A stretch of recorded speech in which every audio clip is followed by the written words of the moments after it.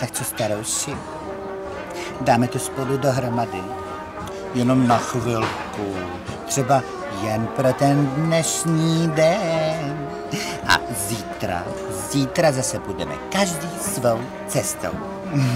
Prosím vás, mě teda jedno, co si tady nad tím pivem mumláte už dvě hodiny, jo. Ale v tomhle pařáku bude ten starouš úplně vařící. Co vás nemá? Dejte to sem, já vám přinesu novýho, studenýho. Ne, teprve teď je konečně pořádně teplej.